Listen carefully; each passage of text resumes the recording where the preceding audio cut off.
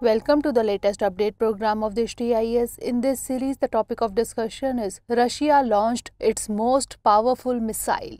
Recently, Russia successfully test fired its most powerful missile. This missile has been named Sarmat. It is an intercontinental ballistic missile that is ICBM. The missile was test fired from the Plesetsk Cosmodrome in the northern Arkhangelsk region.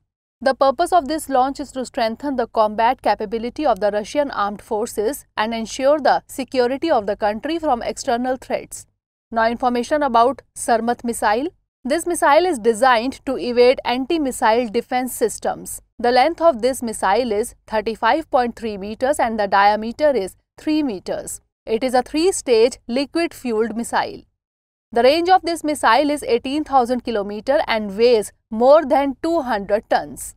It is capable of hitting any target on the earth. It covered about 6,000 km during the trial and hit the target in the distant Kamchatka Peninsula. It is capable of carrying more than 10 warheads and it can also carry 16 small warheads. Dear viewers, watch this topic in Hindi on our Drishti IAS Hindi YouTube channel.